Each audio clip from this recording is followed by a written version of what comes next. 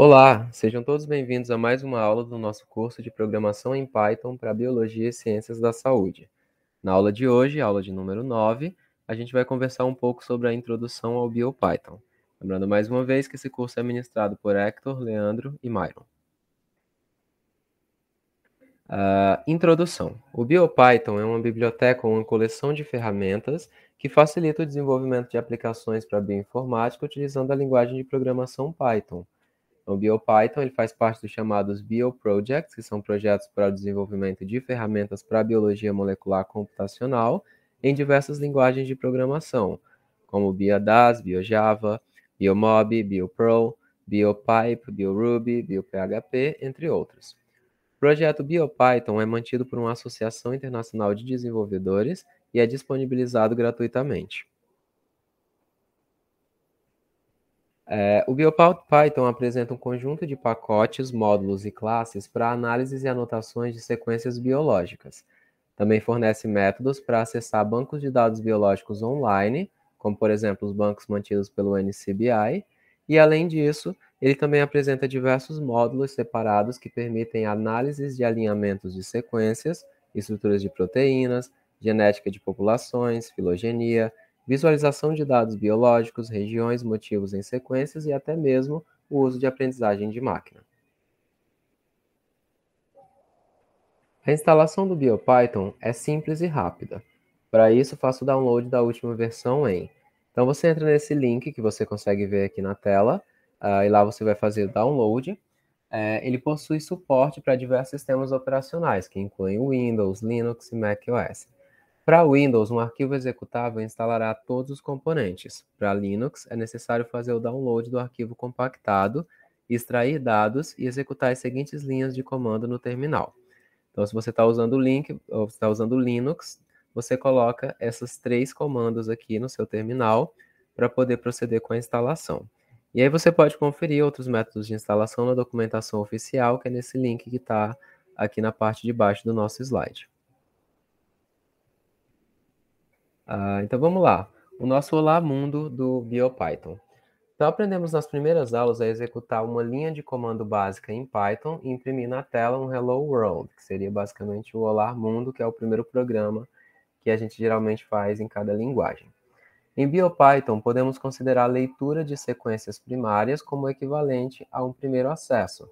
Então, a gente tem aqui uh, primeiro um import, aí tem from, biosec import sec, e aí nós temos o minha sequência, que recebe essa sequência que vocês estão vendo aí é, em maiúsculo. E embaixo um print para poder imprimir essa sequência que a gente colocou. Então, na primeira linha, a gente declarou o uso da biblioteca BioPython, a qual, qual declaramos que do módulo biosec será importada a classe sec. Na segunda linha, a gente declarou a sequência, que é essa base aí que vocês conseguem observar. É, observe que a sequência é declarada não como uma string, mas como um objeto de sec. O construtor da classe recebe como argumentos uma sequência é, de strings e, opcionalmente, um objeto do tipo alfabeto, que determinará, quando necessário, o tipo da sequência. Ao imprimir a variável minha sequência, será impressa a sequência enviada. E aí, como vocês podem observar, aqui na nossa IDE,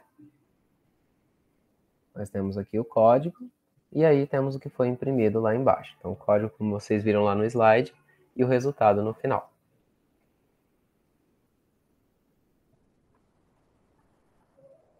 Uh, complementar e reverso complementar de uma sequência. Outra função básica do BioPython é a impressão de sequências complementares e o reverso complementares. Em bioinformática, nucleotídeos presentes em sequências de DNA são apresentados pelos caracteres A, T, C e G, que são os respectivos adenina, timina, citosina e guanina. Assim, define-se como sequência complementar a sequência formada por bases que pareiam com bases de outra fita de DNA, ou seja, bases que realizam ligações de hidrogênio na formação da dupla hélice do DNA. Logo, A pareia com T, pois a adenina realiza uma ligação de hidrogênio com a timina, assim como C pareia com G, devido à ligação entre a citosina e a guanina. A classe SEC fornece métodos para a determinação dessas sequências. Complementar e reverso complementar de uma sequência. Um exemplo de exibição sequência complementar. Estou exibindo a sequência complementar com BioPython. Nós temos o nosso import, como vocês viram no exemplo anterior, a minha sequência, que recebe a sequência, e temos um print que é colocado para imprimir o minha sequência, variável minha sequência, ponto complement. Então, ao objeto da classe sec foi aplicado o método complement, que gera a sequência complementar. Ao executar esse script, será impresso na tela tc, at, até ca, essa sequência que vocês estão vendo, pois ela é a sequência complementar da AG, TACA, que é o que vocês viram que foi colocado lá. Então, se o conteúdo da variável minha sequência fosse uma simples string e não um objeto da classe sec, o método complemento não poderia ter sido aplicado. E o interpretador Python retornaria um erro informando que o objeto str não tem nenhum atributo complement.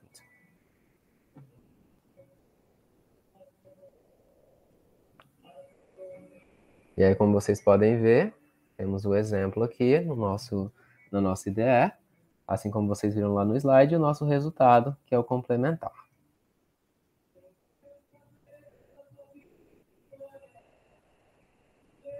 É, como a transcrição em genomas de dupla hélice de DNA corre em sentidos opostos, pode-se considerar relevante não apenas conhecer a sequência complementar, mas também o reverso da sequência complementar, então a gente tem aqui, é, para a gente exibir o reverso desse complementar, a gente importa, como vocês já sabem, cria a variável que vai receber o sec com a sequência que a gente colocou, e no print a gente vai colocar o minha sequência, que é a variável, ponto, em vez de só complement, reverse complement, que é para imprimir o reverso.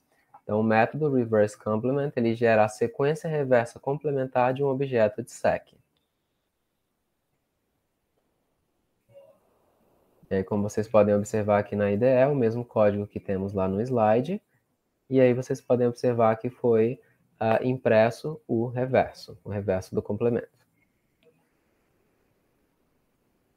O processo de transcrição permite a formação do RNA mensageiro com base na região codificante do DNA. Computacionalmente falando, podemos analisar a transcrição como um processo de modificação string. A gente teria a nossa fita de DNA, a, e a fita de DNA reversa complementar. Daí a gente faria a transcrição nessas duas fitas de DNA e a gente geraria uma, uma, uma fita de RNA para cada uma delas. A transcrição. A gente, vai a gente vai reproduzir esse exemplo aqui, o exemplo anterior, com a função transcribe do BioPython. A função transcribe, ela pega uma fita de DNA e transforma ela em uma fita de RNA. A gente também tem a função backtranscribe, que ela faz o reverso da função transcribe. Ela transforma uma fita de RNA na fita de DNA originária dela.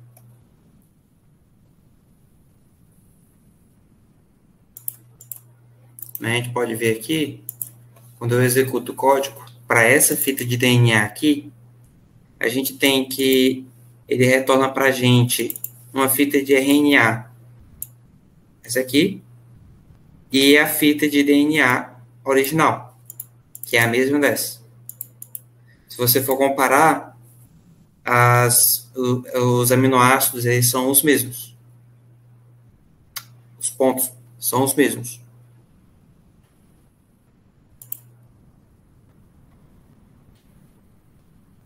Em nosso exemplo, a variável DNA recebe uma sequência.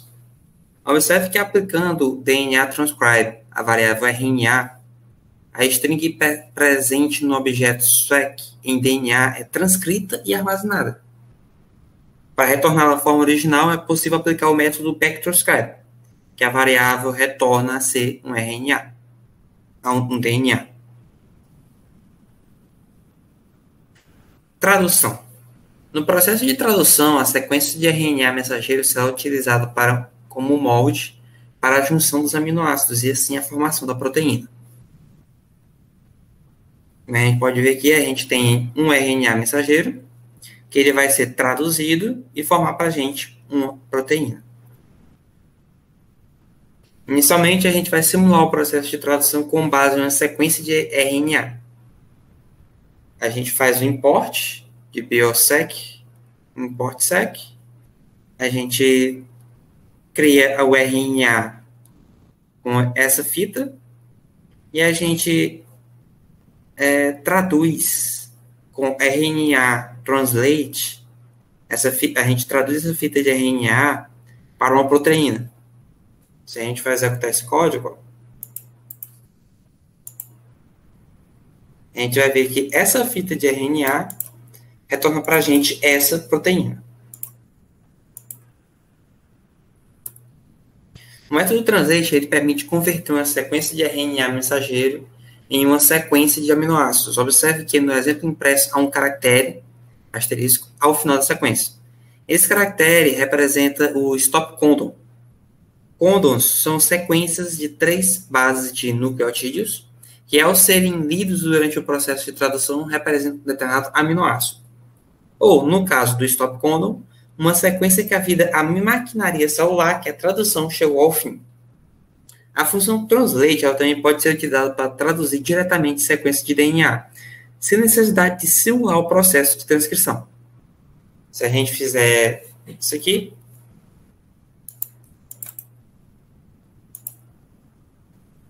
a gente vai ver que essa fita de DNA retorna para a gente a mesma proteína Mairgar, Mairgar, que a fita de RNA correspondente.